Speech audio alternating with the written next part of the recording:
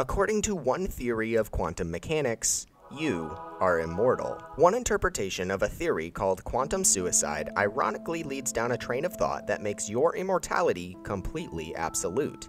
Now, we're going to be discussing quantum mechanics here, so try to keep your eyes from glazing over and stay with me, because at the end of this, you're going to be immortal.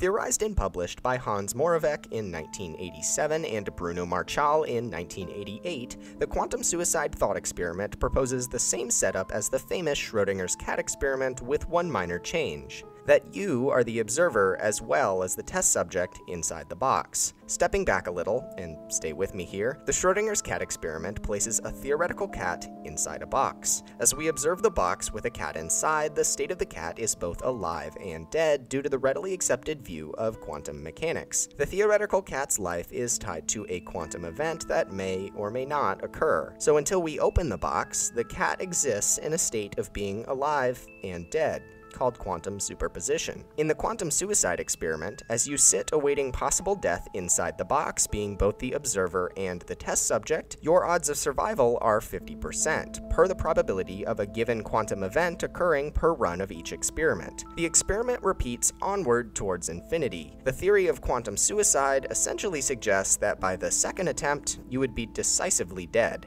But let's focus on the other interpretation of the quantum thought experiment, the one that gives you immortality, because, well, that's a lot more fun. First, we have to assume that there are infinite worlds, and stay with me here again. This is actually a common belief in quantum mechanics. It essentially states that every possible world and every possible past and future has and will exist on a quantum level. Under this theory, there could be an identical version of you watching this video exactly where you are, with the only difference being that they're eating a peanut butter and jelly sandwich.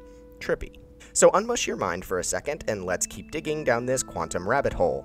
Like I said, you'll be immortal at the end of this. If we rerun the quantum suicide experiment, assuming that the many worlds theory is true, then in every test instance in one or more worlds, our consciousness survives no matter what. Since you, being the observer and the test subject, are in a state of superposition, you must live by matter of quantum necessity. Otherwise, you fall out of superposition, which is a contradiction to the original experiment. So, no matter the number of iterations of the experiment, it is physically necessary that you survive, suggesting that you have quantum immortality. But what does this actually mean? Could you go run off a bridge and survive right now? Sure, if there are actually infinite worlds and you follow the strict parameters of the quantum suicide experiment, but let's see what this really means. Max Tegmark, a famous quantum physicist, made the most famous response to this immortality thought experiment. He acknowledged that if the logical parameters of the experiment follow correctly, then everyone should be immortal. However, the flaw, he believed, was that dying is rarely a binary event. In the experiment, each test is a binary event. Either you live or you die.